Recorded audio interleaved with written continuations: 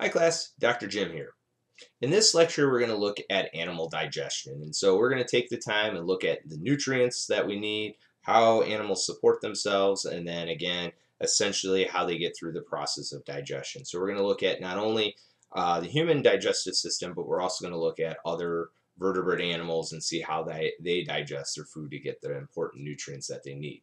Now again, what separates animals out from plants and other organisms like fungi is animals are heterotrophs, meaning they have to eat. So again, we have developed adaptations for us to eat, and that was again we looked at that during chapter 27 when we looked at the predation and again the uh, production of jaws and the teeth and all that good stuff. So we'll look at that today uh, and some of the specific uh, adaptations that we came with. And then the other thing is is that we do internal digestion. So what separates animals out from fungi is that they tend to uh, digest externally and then absorb everything through their their cell walls whereas animals they do everything internally. And so you're going to see that with the sponges all the way up to to humans we all have internal digestion. And so sponges they have their uh, pores again and they do filter feeding and then you start to see the development of these gastrovascular cavities and then digestive systems as they go on here's just a cute little picture of different things of animals eating and that stuff. And again, we see that most animals uh, are either one of three types. They're either carnivores, which mean they just eat meat. They're herbivores, meaning they eat plants, or they eat both, which is an omnivore. And so again, a lot of that has to do, and you can look at the teeth that these animals have, and you can see what uh, they'll eat in that stuff. But again, it's all about getting nutrients and what nutrients are important. So we'll take a look at that as we go along today. So first thing we're going to ask is why do animals have to eat? Very simple question. Again, we're going to look at that uh, and again getting the nutrients that they need in order to survive. The second thing we're going to look at are what are the steps of digestion. So we're going to take our take our time going through what digestion is and again look at the aspects and the organs that are involved with that and that's kind of the third topic as well. Then we'll look at the organs needed for digestion, where does chemical digestion take place and look at what is the roles of each of the organs, what are they supposed to do and why do we have them, and then finally look at the adaptations that have correlated with various animal diets. And so we'll take a look at the differences between herbivores and carnivores and what does that effect have on their digestive system and that and some of these other organisms that are out there. Okay, so chapter 33, we're looking at digestion today. So we're going to be talking about the stomach, the intestines, and looking at all those wonderful aspects that go on. So let's take the journey together and let's go through and see what we can learn about the digestive system. And again, the need to feed. So food is taken in and taken apart and taken up by the process, and the process is known as animal nutrition. And in general, it falls into three categories. And I just mentioned this before. Herbivores mainly eat plants, carnivores eat other animals, and omnivores eat both plants and animals. And again, most animals are op also opportunistic feeders, meaning they're going to look for whatever source of food they can find and they're going to eat it. So again, that plays a role with the predator prey and then the herbivores as well. And again, has had major effects on evolution as as we've seen in other chapters. Now, the animal diet must supply energy, organic molecules, and essential nutri nutrients. And so, again, chemical energy, which is converted to ATP and power the cells. So, you need the carbohydrates to do that.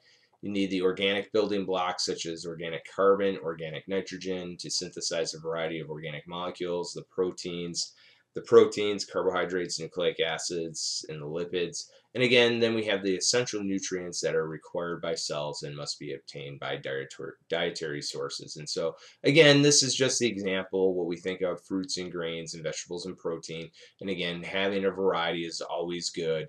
And so that's one of the things that we always have to think about is making sure we get the right nutrients uh, at the time.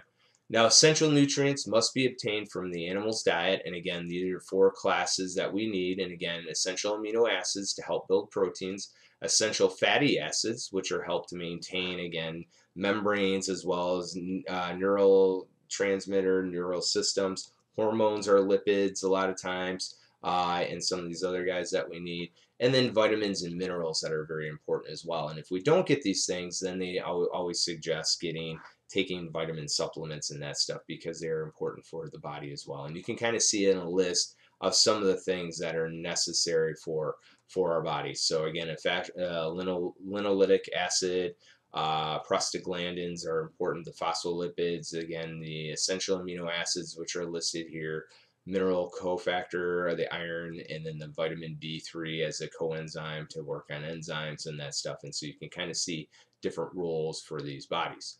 Now, some of the essential fatty acids and amino acids, again, uh, animals require 20 amino acids so they can synthesize half the molecules in their diet.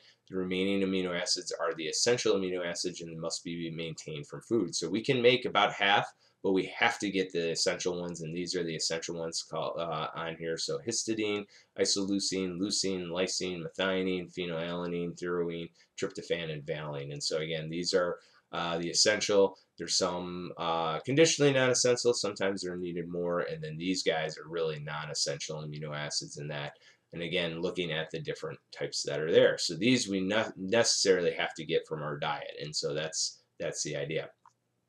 Now fatty fatty acids again we need it for cellular components such as phospholipids signaling molecules. I talked about hormones and storage fats again for energy storage and that there are essential fatty acids and again we can't synthesize them but they can be synthesized by plants and again, we obtain these from these essential fatty acids by our diets. And this includes things like omega-6s. So you can see where, where these things come from. So this kind of gives you an idea and that where we get them. We also have the omega, omega-3s. And again, a lot of people are lacking in the omega-3s, so they take fish oil or some of these other things that, again, are very important. So again, we get a lot of these from our diet. These not so much unless you eat a lot of fish or seeds and that stuff. So again, that's why a lot of us are now taking supplements because we're lacking these omega-3s. And so a lot of times we get too many of these and not enough of these. And so that's the that's the thing that we need there. Now vitamins that are essential, again, these are the small uh, required in small amounts, but they're essential again for uh, enzymes and other functions in there. And you can see the list of some of the vitamins that we need. A lot of times the B complexes and that, vitamin D, vitamin E, vitamin K, folic acid, vitamin A, and all these other things. And so you can see some of the different essential vitamins that we need and where we get them from. And again, natural source versus other sources. So yeah, taking a look at that. And then the minerals, again, these are inorganic nutrients and again, required in small amounts. And again, uh, getting these things from our diet, including things like manganese, calcium, sodium, copper, uh, again, fluorine, uh, cesium, iron, zinc, all these different things. And again, a lot of these are cofactors and enzymes as well as signaling molecules in our cells or transporters in that. So we need those as well. Now, again, dietary deficiencies, if we don't get these things, then we become malnourished. And again, this is a long-term absence from the diet of one or more of these essential nutrients. And again, we've seen the sad stories and that stuff, especially where you have a lot of famine and drought and other things. And again, a lot of people in India as well as in uh, Africa where we see a lot of malnourishment. And again, it says that, again, every third individual is malnourished in the world today. And so that's kind of sad that we live in a world as uh, complex and cosmopolitan as we have it, and we still see hunger as a major issue. And even in the United States, we see that as an issue and that stuff, which is a sad, sad state of affair because the United States is a very uh, productive country, very rich country in you know history and also in in monetary wealth as well. And we still have children going to bed hungry every night and that stuff. And that's kind of a sad statement to say uh, for this country, especially in that. So we look at that, and it can be uh, a tough, tough situation.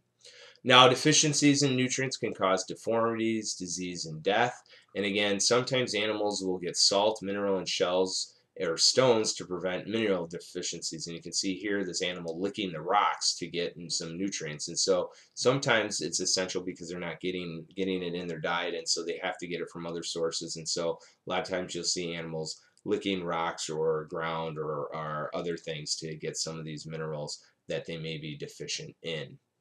Now, a diet insufficient amounts of one or more amino acids is the most common type of malnutrition in the uh, in among humans. Again, other diets often deficient in vitamin A, and so one of the things we've seen is again synthesizing food with uh, different vitamins in them. And so one of the things is this golden rice, which now has vitamin A and beta carotene in it.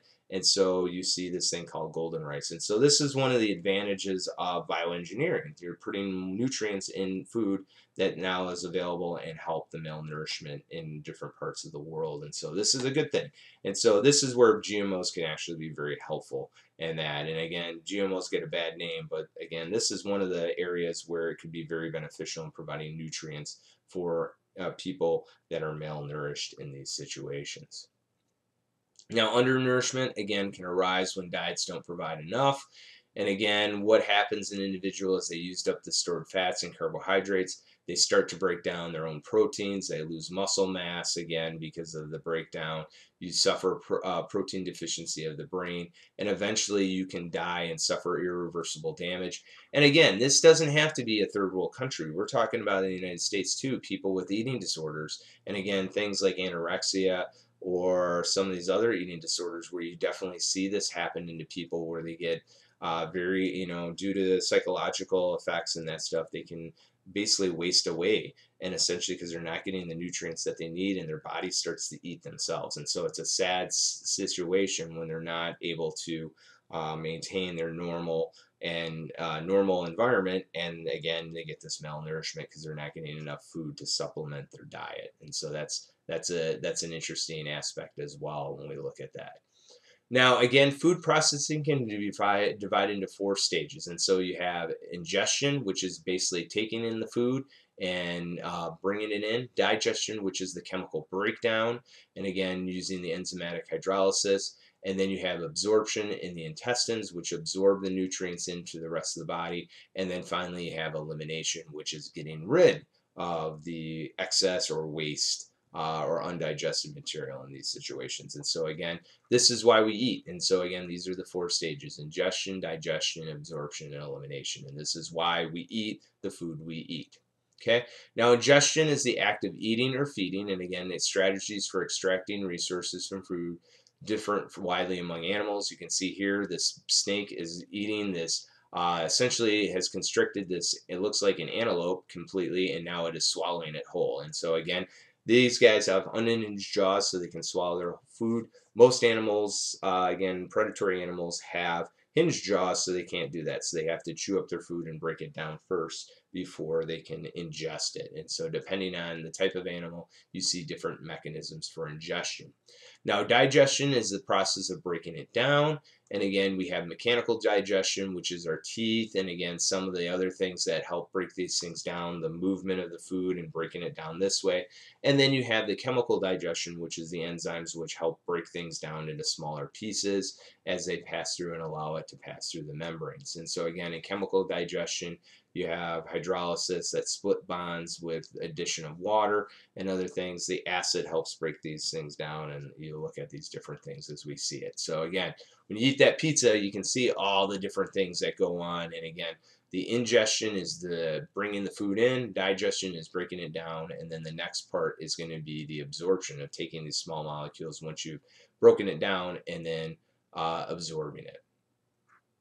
Okay, so absorption is the uptake of nutrients, and then the elimination is getting rid of any, any undigested uh, material out of that digestion uh, system. And so again, you can kind of see this ingestion's bringing it in, digestion's uh, breaking it down, absorption is absorbing the nutrients, and then finally elimination is getting rid of those undigested pieces. Now again, in most animals, processed food in specialized compartments and again, the compartments reduce the risk of animals digesting their own cells and tissues. And so again, these systems are set up so that the digestion takes place in a closed system and that they're protected from not having them leak out. Obviously, people can have issues with that, but typically when we think of a closed system, you have a tube inside of a tube. And so our digestive system is kind of closed off from the rest of the rest of the body and again eliminates these different things as we go along and so again keeps it in the digestive system and not leach out into the rest of the environment okay now we can have intracellular digestion and so again when we think of single cells or in our bodies where you have these food particles that come in they can be digested internally by the phagosome the phagosome is basically uh, brought in by the phagocytosis you attach to the lysosome. The lysosome contains the enzymes, and then you break these things down. And then the molecules are either uh, brought in and absorbed by the cell or released through exocytosis. So again, that's internal cells, and we see this during the process of absorption and once the material is broken down and the individual cells are feeding on the little morsels. Now, extracellular digestion is essentially where it breaks out down outside the cells. And so again, there's compartments that are continuous with the outside of the animal's body. And so again, even in the simple animals like the cnidaria, what you have is this gastrovascular cavity, which essentially eats food, brings it in and releases enzymes to break this down. And so again, in this situation with the gastrovascular cavity, you have internal digestion. These get broken down and then the cells absorb the minerals once they're broken down. And then anything that doesn't go gets excreted back out through the mouth. And so again whether you're a big animal like us or a small animal like the hydra you do internal digestion inside a tube or a vessel inside the body that releases enzymes and then finally gets rid of the waste when it when it's been properly digested okay now, more complex animals have a complete digestive tract or an elementary canal, and again with a full with a mouth and anus. And so again, the mouth is responsible for bringing in food, and the anus is responsible for the the elimination of the waste products. And again, most animals have a complete digestive system. Again, it's really only the very simple animals like the uh, the couple that I can think of that are very simple are the cnidarians. So again, the jellyfish or the hydra, and then the worms, the flatworms like the planaria, typically have only an incomplete digestive system. Most animals above that all have a complete digestive system. So they have a way of to bring in the food and then a way to uh, release the food. And we'll, we saw this when we did the uh, view or the scan of the different animals. But we'll look again more closely at digestion, when, especially in the in the pigs when we do uh, the dissection of the pigs, and we'll look at that as well as the frogs as well, and look at that and see those different things. Okay, very similar. Okay, and again, it's the, the systems are the same way. It's a big long tube. It just depends on the type of organs that you have. And again, these are some of the different things that you see. So sometimes you see crops and gizzards. Other times you see uh, stomachs uh, and that. And again, the roles of these things all depend on what they're supposed to do. And so again, we'll look at these uh, as we go along uh, throughout. Okay. Now, in the mammalian digestive system contains the alimentary canal and the accessory glands that secretes the digestive juices. Again, it's one long tube all the way through. And again, the accessory glands and the salivary glands, the pancreas, the liver, and the gallbladder all contribute digestive enzymes that help break down the food. So they are a part of the chemical digestion. And we'll talk about where and what happens during each part of the digestive system here in a little while. Okay.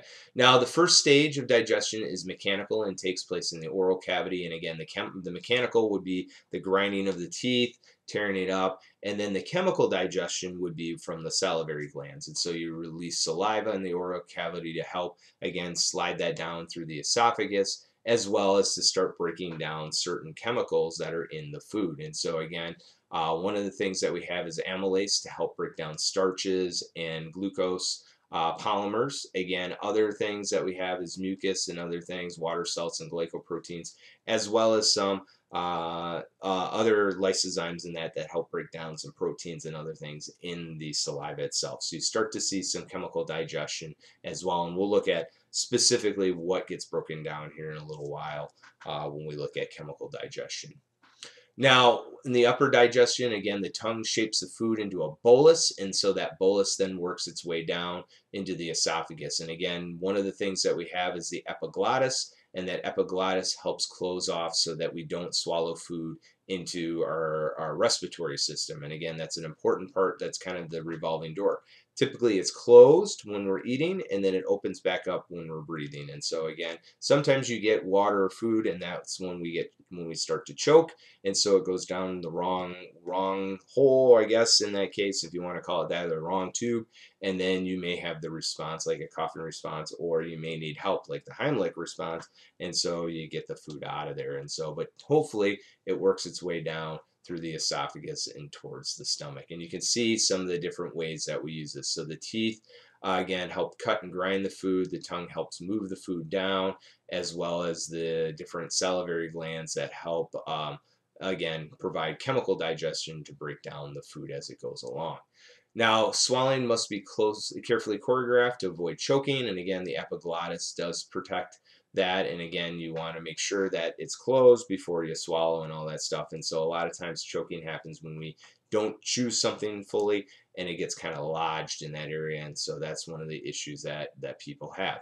And again then the esophagus conducts food uh, down from the pharynx down to the stomach using rhythmic cycles of contraction. We'll talk about about that. That's called peristalsis and again causes the squeezing sensation to work its way down to the stomach and again, the form of the esophagus fits this function in the various among species, and again, a round tube to work the food down to the stomach.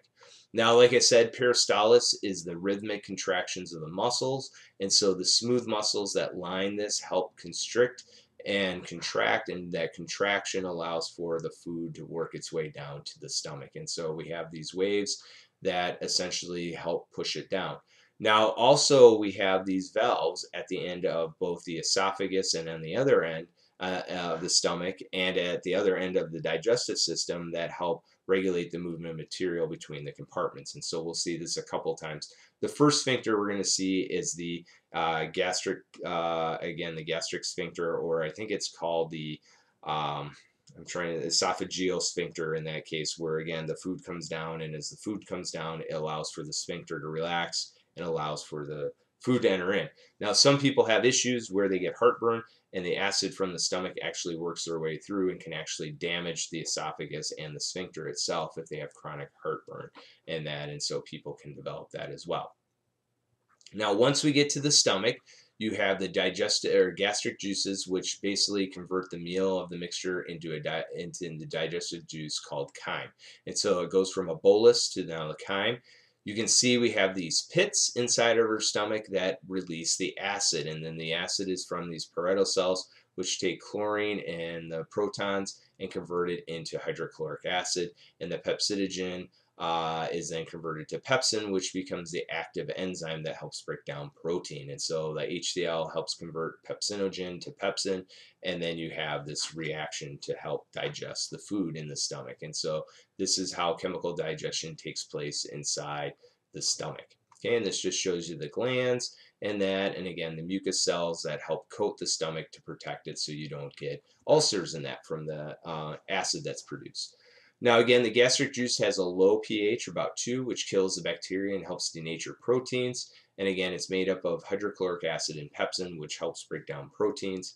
And then it's a protease, meaning that it breaks down proteins and it cleaves proteins into peptides. And so that's typically the chemical digestion that's happening in the stomach is the pepsin breaking down the proteins in this case. Now the mucus in the stomach protects it from the gastric juice and then cell division keeps adding new epithelial layers every three days to replace any cells damaged by digestive juices. And so again, it's that chronic wearing away that can lead to ulcers. And so you can see here, here's a normal uh, stomach lining where you have this nice mucus layer as well as cells replacing, whereas you get damage where you get these areas where the ulcer forms. Now, most people, and this is my microbiologist coming at you, get ulcers because they have a bacterial infection. And so it's not actually due to you know worrying a lot or having stress or other things. What really happens most of the time is you get this bacterial infection called helicobacter pylori which sits in the stomach wall. It actually raises the pH uh, so they can survive in there and then it causes this wearing away of the lining. The cells can't repair itself as fast and so you get this cell damage as well as the mucus goes away and so you see this damage occurring and so that's the big issue when you talk about ulcers and that a lot of times is due to a bacterial infection and not just due to stress or worry with that and so I think they said it uh, estimate about 90% of the ulcers are actually caused by bacterial infection rather than you know some of these other things that we think about stress or worry or something else that goes on in these situations. Now, a coordinated constrict, contraction and relaxation of the stomach muscle churn the stomach contents. So it's kind of like this big bag that helps stir the stuff up. And then the sphincters prevent the chyme from entering the esophagus or coming into the small intestine. So again, you have this cardioesophageal sphincter up at the top, which keeps it from going back through the esophagus. And then you have the pyloric sphincter, or the valve that keeps it from going into the intestines until it's ready. And so again, you get this digestion, and typically it takes anywhere from two to six hours to go from the stomach into the intestine for the food to move in. And so it spends quite a while in the stomach just digesting and turning and processing the chemical digestion, breaking down the proteins, and eventually going into the stomach. So you'd assume that probably things that are higher in protein are going to take longer to digest. And so that's one of the reasons why if you want to lose weight, they say eat a lot of protein because it takes longer to digest. And so it's one of those things that you have to sit there and break it down longer so you feel fuller and it takes you longer to break these things down. Same thing with fiber. That's the other thing because you can't digest it and it sits in your system and makes you feel full. Okay, now once the food, the bolus, and the chyme moves into the small intestine, it enters into what we call the duodenum. And we looked at that in chapter 32, how the cells regulate the pH. And so when it enters in here, travels through the pyloric sphincter and enters into the duodenum, what you see is that the pH goes up to about a, about a 7. Now what happens here is that digestion still occurs in the small intestine, but you now start to see absorption. And so again, in the small intestine, you see all these little villi that allow for the, again, increased surface area so you can do more digestion and absorption in these places. Like I said, first in is the duodenum, and again, the chyme mixes with digested juices from the pancreas, liver, gallbladder, intestinal wall to further break things down. And so again, we get further breakdown into smaller units and we start to see absorption and that, and then we move into the large intestine here in a minute. Now, the roles of the pancreas, we look at the pancreas, and again, one of the things that it produces is the chymotrypsin, which is activated by the duodenum. One, it helps neutralize the acidic chyme in there. We talked about that, the um, regulation of, again, the uh, secretin. Secretin gets released by the duodenum, which triggers the uh, pancreas to uh, add bicarbonate in, and again, causing the things to raise the pH up. So that's one of the things that it does. The other thing that it does is releases this trypsin in that, which helps also break down proteins as we go along. Now, in the small intestine, bile adds in digestion and absorption of fats. And so, again, if you have a problem with your gallbladder or you're missing your gallbladder, one of the things the doctor tells you is watch fatty foods because you're not as likely to eat or not as likely to digest fats as well because you're missing a lot of your uh, bile. And that and that bile helps break down the fatty tissue. And so when you're losing your gallbladder because it gets blocked by a, a gallstone or it gets diseased or damaged you have this removed you still can make bile from your liver you just don't have a lot of it stored. And so again it's more about moderation. And so you still could eat fatty foods but you have to be very careful because you just don't produce or you don't have as much bile. And so that's the problem bile is also the reason why your poop turns out brown because it adds that color it adds the uh, there and so when you see damage to the liver a lot of times you get jaundice in that and that's the bilirubin that accumulates well that's the color in the bile and that the greenish color and that and that gives you the color that you see in your poop. So that's why you see that. It also destroys non-functional red blood cells as well. So the ones that are um, that are dying.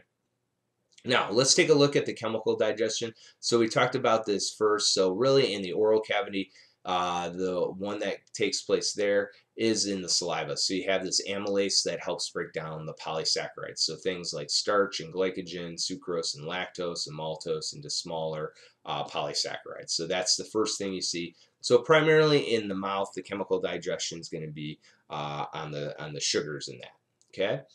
Then when you move to the stomach, the stomach will also continue on with the carbohydrate digestion and has, again, enzymes that break these things down, as well as the protein digestion with the pepsin. And so, again, that's what takes place with the acid, and that helps break down the protein. So, again, in the stomach, so now you got carbohydrate and protein digestion. And then finally, when you move into the small intestine, you start to see the rest of the nutrients being uh, broken down. So again, you see carbohydrate de, uh, digestion with, again, pancreatic amylases. You see more protein digestion with trypsin and chymotrypsin. Uh, and then you now start to see nucleic acid digestion through the nucleases that are found in the pancreas.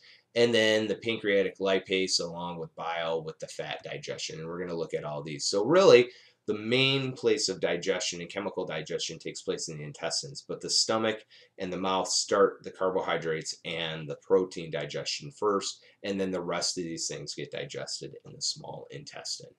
Okay, and then the other other things from other chemicals as well for carbohydrates. Again, you see digestion, that protein digestion, and then nucleic acid as well. So we've talked about all these different things as well. Now, absorption starts to take place in the small intestine as well. And again, that's why you have the villi and the microvilli, which again increases the surface area so you can digest more. And so the enormous microvillar surface area creates broader uh, brush border of increased rate of nutrient absorption. And again, without it, we wouldn't be able to absorb as well. And so that villi really increases surface area so you can absorb that much more food. And so again, makes it much more efficient and a much more efficient system. Otherwise, we'd be pooping a lot more uh, if we didn't absorb quite as much in that. So it does help with that, uh, the absorption. And you can see here, again, the blood vessels are attached to the intestine. They absorb the nutrients and that stuff. We see the absorption with the villi. You increase the surface area by having more of these as opposed to just a flat surface. You have so many more cells to absorb. These cells absorb and then pass the nutrients into the blood. And so those things get into the blood and do those different things and then absorb the food. Or the nutrients, I'm sorry, in these cases. Now, one of the important veins in this case is the hepatic portal vein, which carries nutrients blood from the capillaries to the villi to the liver and then to the heart. And again, the liver regulates the nutrient distribution, interconverts many organic molecules, and detoxifies many organic molecules. So really, the liver is there for an important reason, and that's to detoxify anything that we bring in.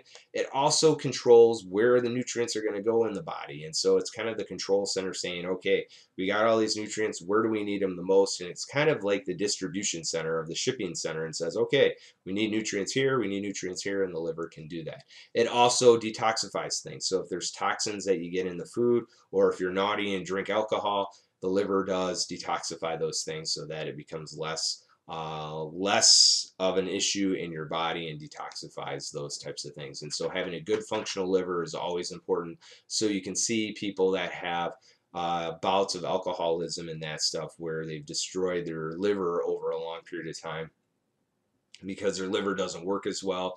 You get things like cirrhosis, sometimes you get liver cancer and other uh, liver damage that can have a major effect in how well uh, someone can detoxify the nutrients in their in their body. And so when you get liver damage, you start to see a lot of other things happen. And so it's bad news all the way around. So again, you want to keep your liver happy because it's keeping you safe. And so that's an important thing uh, when we think about that. Now, with the fats, again, epithelial cells absorb the fatty acids into the uh, monoglycerides uh, and recombine them to triglycerides and that's how they're moved around in the blood. And again, uh, they're transported into the lacteal and lymphatic vessels of the villi, and the lymphatic vessels develop uh, the chylomicron containing lymph in large veins that return the blood to the heart. And so that's how the fats get into the blood is actually through the lymphatic system, and they promote it. So here you can see here's a fat globule, and the bile salts that are produced by your, uh, again, liver that's stored in the gallbladder help break down the fat droplet and they break it down into the fatty acids and the monoglycerides. Those things then get absorbed by the epithelial cells and they're formed into triglycerides, which then end up in the lymphatic system, not in the blood system, but in the lymphatic system, which is then carried away by the lymph system, which then circulates back to the heart. And so your lymph system is actually very important for moving fats around in your body. So the fats do end up in your blood eventually, but again, most of the fats that are digested end up in the lymphatic system first and then are in, and added into the uh, essentially into circulation through the veins near around the heart because that's where the main lymphatic duct uh, uh, enters into the circulatory system. So again, and we'll talk more about lymphatic system in chapter 35. Okay, now once the food enters into the large intestine, so the colon of the large intestine is connected, you have the cecum that adds in the fermentation of plant material, and again where the large and small uh, intestines meet. Now in certain animals that are herbivores, they're going to have a much larger cecum and that appendix actually does a lot more. And so what we've seen is that the appendix does contain some certain bacteria and other cells that help with immunology. And so Otherwise, we're not really sure what the appendix does other than causing issues in people when they have appendicitis. And so they get inflammation of that and it can cause problems because if it ruptures, you now get the leakiness of whatever was in the appendix into the in the into the surrounding tissues, and that can cause a severe bacterial infection, and that can be very bad for people. So that's why you have to get that taken care of if you do feel that inflammation or pain associated with appendicitis. So again, um, the main part of the large intestine though is to take the food and absorb the water that comes out of it. And so that's going to be the key. And again, you have lots of wonderful little bacteria in there that help aid in the digestion in that in that situation. And sure enough, here we talk about this. And so one of the major functions is to recover the water that has entered into the alimentary canal and again, the colon houses the bacteria that live on unabsorbed organic material and produce some vitamins for us. And again, the feces, which makes it through the large intestine, include undigested material, bacteria, and again becomes more solid as it goes along because you're absorbing the water. Now, if you have a situation where you have diarrhea or something, your what's happening is your body is secreting water. And so a lot of times you can get bacterial infections or other types of infections that cause the intestines to secrete water. And that's why you get diarrhea. So normally uh, normally your body will reabsorb most of the water and so it should be more of a solid kind of feces as opposed to a very liquidy. If it's coming out liquidy, you may have some problems with reabsorption of that and again may have some intestinal issues with inflammation or other things that are going on in your system. And I like this, the good and bad flora. Again, E. coli is good the uh, bifidobacteria and then the lactobacilli are all good bacteria and these are all part of the probiotics. Not only do they provide benefits, but the other thing that they do is when they grow in there, they're keeping the pathogens away. They're keeping the bad guys away, like Campylobacter, uh, Enterococcus faecalis, which can be bad, and then the Clostridium difficile. These guys are mostly pathogens and they cause pretty much bad infections in your intestines. And so they cause a lot of times watery diarrheas, bloody diarrheas, and uh, chronic is where they start eating away at the intestines. So they can be very bad news over a series of time. And so, again, if you want to know more about that, take microbiology and you'll, we'll, we'll definitely talk about some of the different uh, infections that go on in the intestines themselves. Now, the elimination part, so now if you've absorbed everything and removed the water, you have now the elimination, and again, it makes it to the rectum, which is kind of the storing uh, site of the feces until it's ready to be eliminated. And again, there are two sphincters in those. You have the external anal sphincter and the internal anal sphincter, which control the elimination of the feces. And so again, those are uh, muscles that are very tight and again, relax when you're eliminating the feces at this part. And again, typically we have control over that. Sometimes we don't, depending on how much is being stored in the rectal area. And sometimes we get blocked up because we don't have enough fiber or water in the system. And so it gets backed up, and that's what is called constipation, where you can't eliminate during that time. Okay, now if we look at this, the evolutionary adaptations of vertebrate digestive systems correlate with their diet. And so digestive systems are, again, variations of the common plant. So whenever we look at the common plant, it's a long tube that essentially helps, again, with the four states of uh, digestion. So you have ingestion, you have digestion, you have absorption, and then elimination. And depending on what you're eating and what, what you're doing will determine what type of system you have. So you can see in the uh, insectivore, again, typically in the insectivore, which eats insects, again, there are uh, uh, a long, uh, short intestine, again, a short intestine in this case, and really no large intestine. It gets a little bit larger in that in the elimination, but again, there's no cecum because they're not eating any um, they're not eating any plants and so again they don't really need that digestion so you don't see that in this case now, in a non-ruminant herbivore, uh, you see a simple stomach, which then passes into a very long intestine. You can see the cecum, which contains a lot of enzymes that help break down uh, plant material in that. And so you see a large one of those, and again, a large intestine to absorb the water. In a ruminant herbivore, which has, again, a rumen and a stomach, which holds a lot of these things, so a lot of digestion takes place here. You can see you have a very large small intestine, uh, intestine in this case, uh, again long, and then a large cecum which helps digest any other further undigested plant material, and then a long large intestine to help remove the water and any any other absorption that needs to be done. And then in a carnivore, what you see is a very short intestine and colon and a very small cecum because again, you're primarily eating animals and not plants. And so if you don't have plants, in your diet, you're going to have a small cecum. Now, humans kind of in between because we're omnivores. Again, we eat plants, but a lot of the plant stuff we don't actually digest. We pass it through. And so, again, in our diet, plants are good because we get oils and minerals and that stuff from plants. But one of the things that's also good is we get fiber. And we don't digest that fiber and it helps clean us out. And so that's why uh, fiber is always good because one, it makes us full, and so we don't want to eat more. And two, it helps clean out the system because we don't digest it, and so it passes through. And so it's a good good source to clean you out. So if you want to clean your system out and do one of those cleanses, eat a lot of fiber. In this cases, eat a lot of vegetables and that stuff, a lot of plants to help clean you out. Now, another thing that we see with the adaptations is the type of teeth. And so again, the type of teeth are going to revolve around what, what do you eat? And so in a carnivore, you're going to have teeth that are specialized for tearing and chewing. So you're going to see well-developed canines, you're going to see incisors, and then you're going to see molars to kind of grind and that stuff. And so that's what you see here. So the carnivore is going to be primarily for ripping and tearing, and so you're going to see well-developed teeth, especially in the front, and then the back teeth are going to be lesser developed. In a herbivore, you're going to see, you're not going to see really a whole lot of incisors and canines because you don't need to do a lot of ripping and tearing of muscle you're going to see a lot of grinding though. So you're going to see a lot of premolars and molars in the back that help grind and break down the plant material.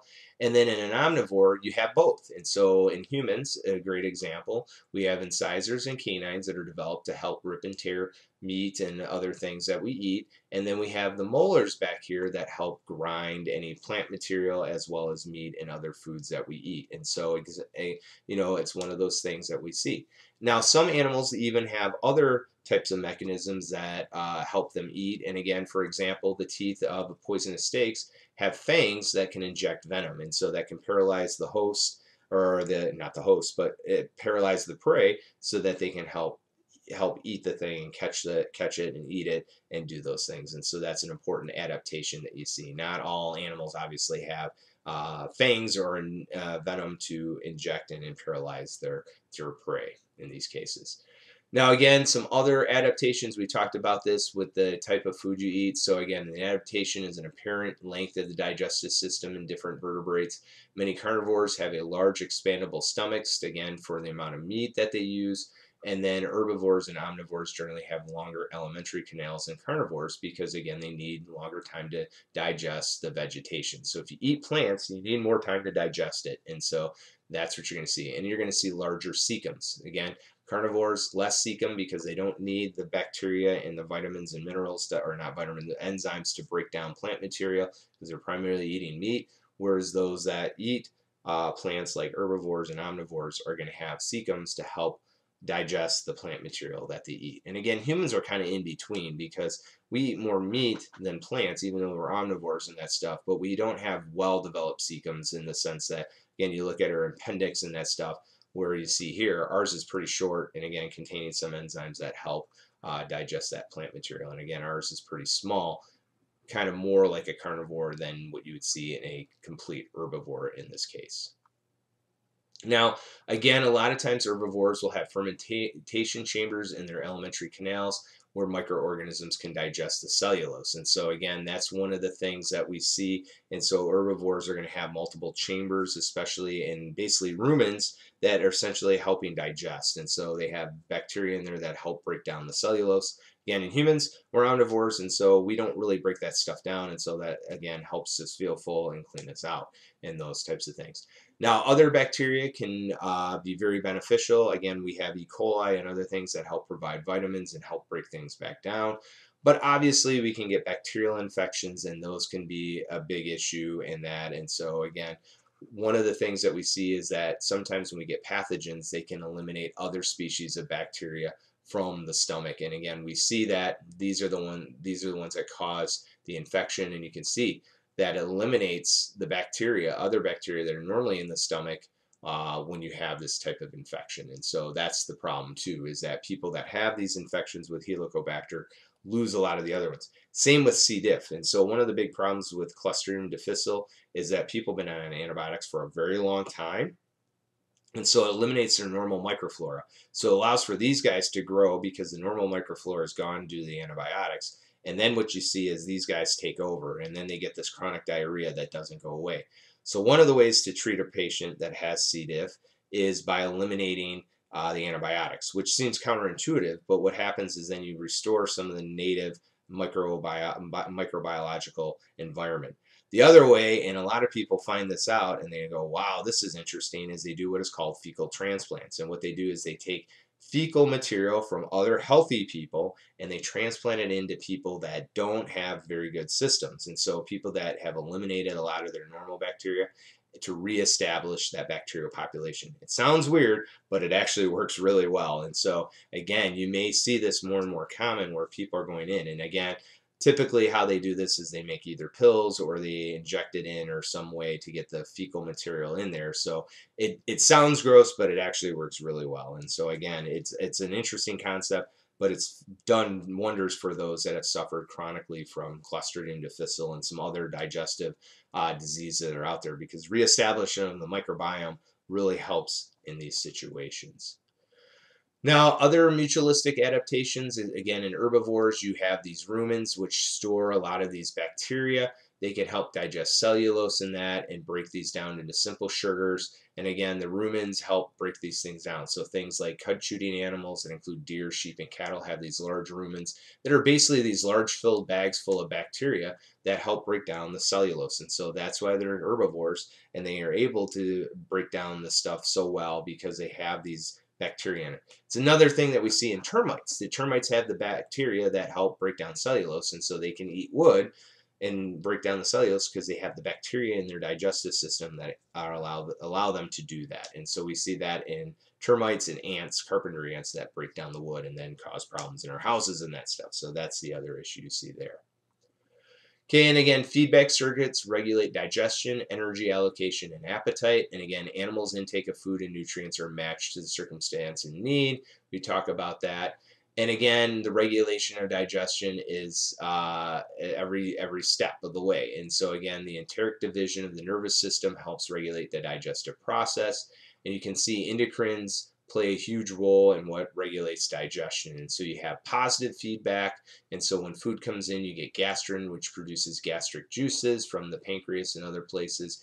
You have other uh, hormones that secrete uh, gall, uh, from, again, uh, bile from the gallbladder and that and secretin which releases bicarbonate we talked about that last time and the CCK which stimulates enzymes released from the um, pancreas and then uh, you also see inhibition of certain things to stop the production of gastric juices once it's made its way through the intestine. So again, or into the intestine, out of the stomach. So now they can stop the chemical digestion in the stomach and producing the acid that you have in that. So that's these are all different feedback mechanisms. You can see some are positive and some are negative based on what is going on in the system. Okay, and again, energy allocation. This is all about bioenergetics and again, nutritional needs and the animal's energy use per unit is called its metabolic rate. And so one of the interesting things is that animals that have are warm-blooded are going to have higher metabolic rates because they use their metabolism to maintain the again how much heat they produce again this can figure out the rate of heat loss the amount of O2 consumed and the amount of CO2 produced and we call that the metabolic rate now like I said and I was mentioning and we're going to see that here in a second is that metabolic rate is very tied very closely in especially endotherms because we can regulate it based on our body temperature. We need metabolism to keep us warm. And so if we don't eat enough, we get cold. And so that's one of the issues that again we need our metabolism to keep going so we can keep keep our body temperature the same way. And so again you see this organic molecules going in digestion absorption breaking these things down you do lose some heat off and again all these because we're taking and changing energy from one form to another, we do lose heat.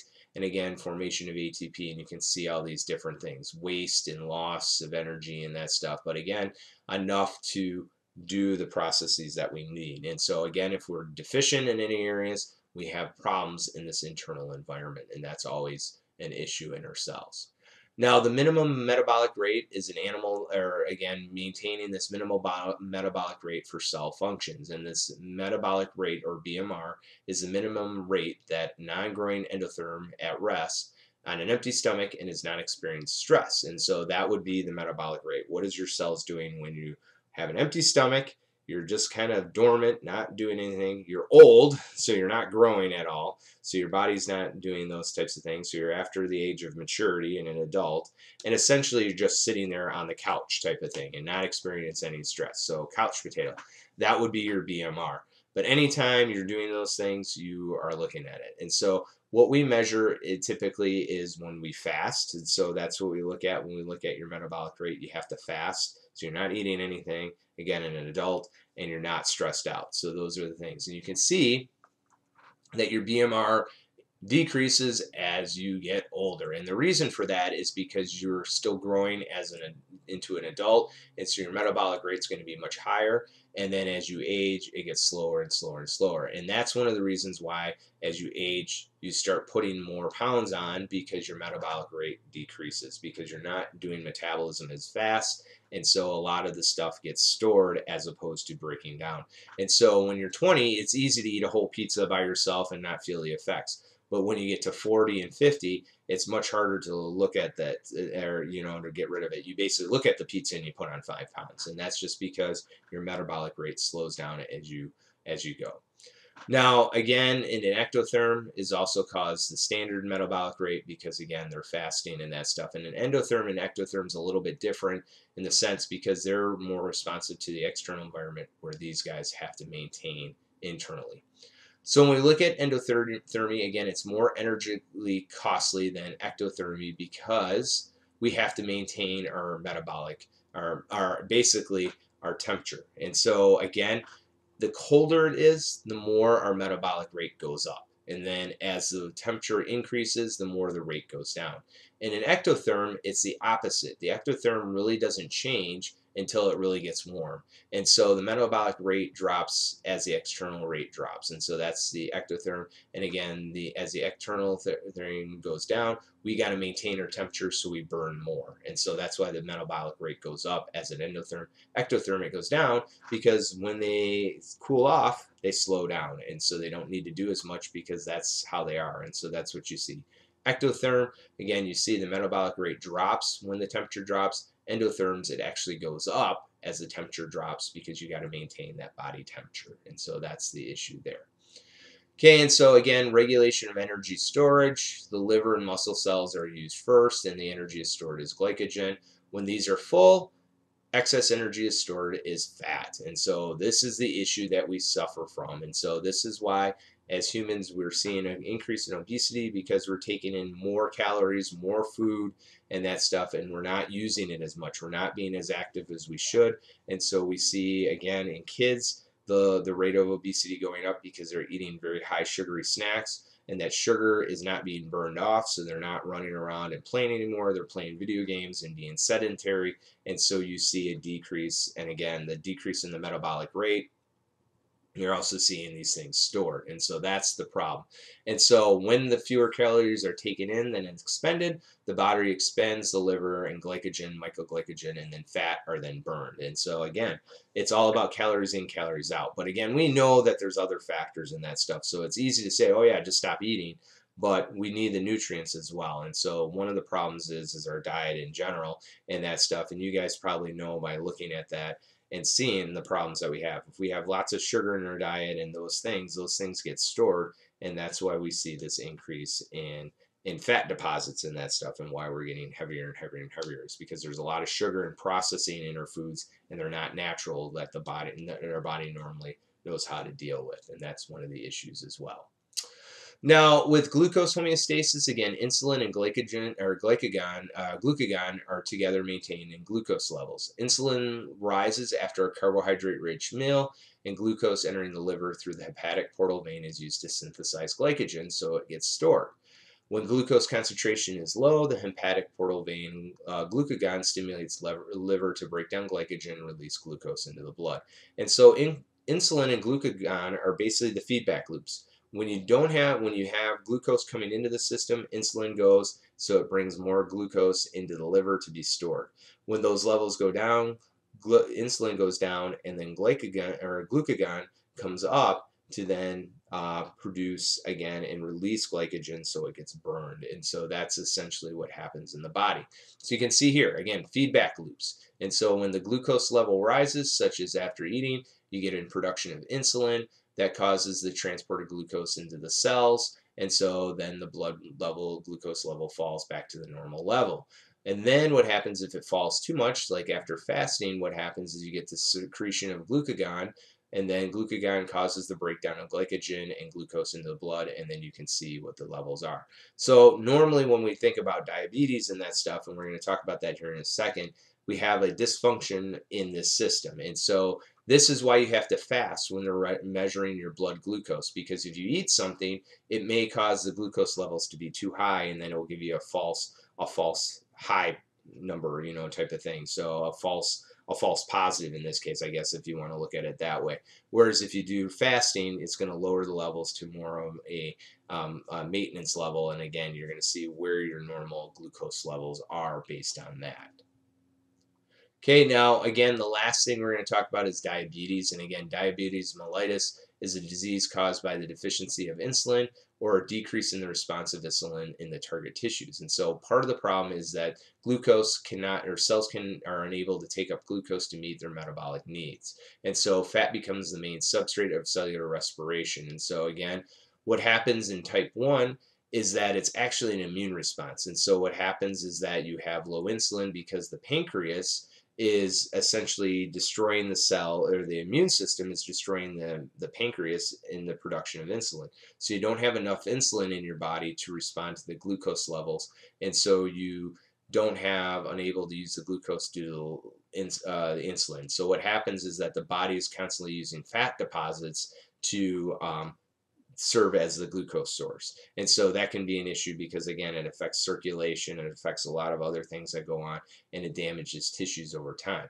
Now type 2 is when the insulin is not being recognized by glucose anymore and so the receptor is damaged in that and so insulin is not uptaking glucose right and this is typically due to a dietary thing and so again getting too much sugar in the diet and the insulin is not responding to the glucose levels anymore and so that's the issue here. And so again you have high levels of glucose in the body and instead of keeping it in a nice steady state you have these fluctuations of going up and down either way too much glucose or crashing and so that can be an issue again in those situations now, type 1, again, is an autoimmune disorder. Typically, it's genetic in that, and the immune system destroys the pancreatic beta cells. So, again, insulin is not being produced. And so, the issue there is that because the glucose levels are not responding to insulin, you can go from very high to low depending on what you're eating. And so, people can go into coma with a crash because they don't have enough glucose in their body.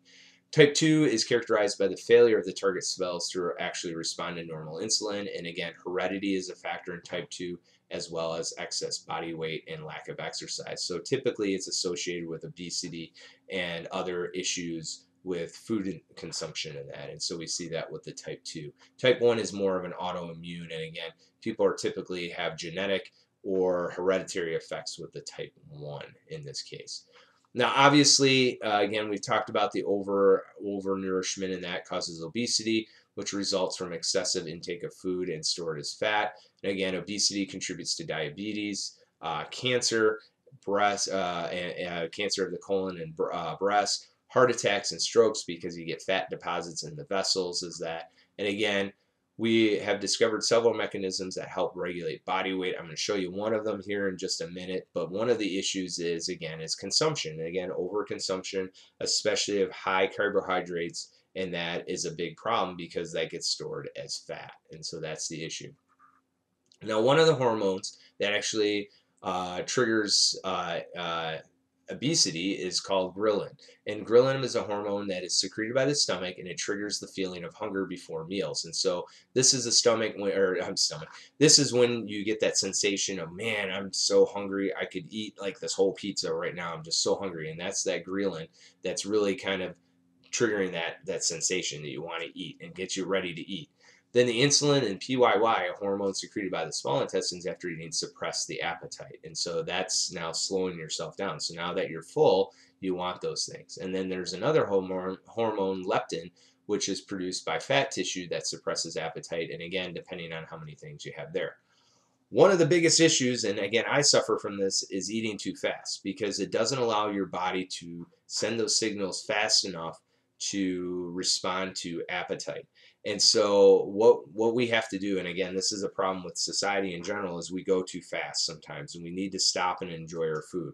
Because when we eat on the run and we eat very fast, we're not allowing our bodies to catch up and regulate our, our appetite. And so what happens is when we eat fast and we're just downing the food left and right, we're not getting the typical response that we see with our, our hormone levels and our hormones can't catch up and so one of the things that they say is if you want to control your appetite and you want to make sure that you're not eating so much is slow down you know take take the number of bites and chew and then slow down and enjoy the experience and so you can eat what you want but if you slow down, your body's going to tell you, okay, I'm full. I don't need to eat anymore. But if you eat really fast and you're just, you know, downing everything left and right, your body doesn't have time to tell you you're full. And so you don't get the signal. And so you continue to eat until, you know, and then finally you feel like, oh, and then now you've overeat and now you have too many of these uh, overnourishment essentially. And now that gets stored as fat. So one of the ways they, they figured this out, and again, just using it is just by slowing down. So I guess that's another way to look at it. Slow down, slow your roll so that you, you slow down in the digestion. And so look at that and see how that goes. Now, this is just a summary of how these things work. Again, we talked about the four stages of, of really physical digestion. Again, the mouth is the ingestion part. You bring it in, you chew it. You have secretions from the salivary glands that help break down the carbohydrates. It works its way down the esophagus to the stomach where you get secretions from the gastric glands, which not only do carbohydrates but proteins. And then you get the digestion in the small intestine. Again, the secretion of different uh, enzymes in that from the small intestine, the liver, and the pancreas, which helps break down really all four major macromolecules carbohydrates, uh, proteins, lipids, and nucleic acids. The lipids leave due to the bile in that, and again, the breakdown into the triglycerides, which end up in the lymphatic system, which end up then into the veins that go to the heart. And then again, the absorbed food, the absorption part in the small intestine and the large intestine take place and again absorb it and go into the vessels that go to the liver. And then the liver can detoxify or tell where the nutrients need to go, what what needs to go where, the central receiving kind of thing or central shipping and says we're going to ship this out to the rest of the body. And again, the large intestine is necessary for the absorption of water. And that's primarily what you see there, as well as the microorganisms that you have there that help aid in digestion and help, um, again, provide certain vitamins and minerals that you might need. And then finally, any food that isn't digested gets eliminated through elimination, and that goes through the rectum and anus. The rectum is kind of the holding center, and then the anus when you're ready to uh, alleviate or expel the, the waste product. And so that's really looking at mammalian digestion, and it really doesn't change except for, again, some of the adaptations depending on what type of organism you are. Again, herbivores have a, sometimes these large bags called rumens that have uh, bacteria that help break down the cellulose and help that go. Uh, they also have the cecum, part of the large intestine that contain enzymes and um, bacteria that help break down, again, plant material. Carnivores tend not to have any rumens. They have a short, uh, pretty much short intestine just to absorb, and then again a short small intestine and large intestine, and then no cecum because again they're not really digesting any plant material, so it's not needed, and then eliminated. And then omnivores are kind of in the middle in that. So Again, that's kind of giving you the summary of the mammalian digestion. So we made it to the end, and again, we looked at animal diets that must supply chemical energy, organic building blocks, and essential nu nutrients, and we talked about the essential amino acids, the essential lipids that you need, and then the vitamins and minerals and those things. And again, malnourishment is when you're lacking those things, and the most common thing that we're missing is vitamins and amino acids. And so again, that's where the the GMOs come from and that stuff. And so, again, we talked about that before. Again, food processing involves the four stages ingestion, which is coming through the mouth, digestion, which is the both the mechanical and chemical digestion of breaking the food down, absorptions, taking those food particles and bringing them in through the intestinal wall, and that and supplying the nutrients to the rest of the body. And then elimination is getting rid of the waste products in those sense in those in those situations. Again, we talked about a lot of the different organs specialized for sequential stages of food processing. We took you through the mammals and the mammalian stages, and again, looking at what the stomach does, small intestine, large intestine, and then the accessory organs and what they do for digestion and aiding in both chemical digestion and mechanical digestion, and then finally absorption. And again, we looked at adaptations. We talked about that, the difference between herbivores and carnivores, not only in the digestive system, but the type of teeth they have. So again, looking at those things. And then we also looked at the feedback circuits that regulate digestion. And again, for energy, minerals, and that. And then again, slowing down, doing those things. But when things get out of whack, that can have a huge effect on the body. And again, too much of a good thing can lead to storage and then weight gain and all those other things. Okay, so with that, we made it to the end of the uh, this lecture. If you have any questions, please feel free to ask. You know, send me an email, whatever you need to do to contact me and that stuff if you have any questions. I'm glad you're watching the videos. Hopefully you're getting something out of it. Hopefully learning something new uh, in that, and I will see you next time. Thanks for watching.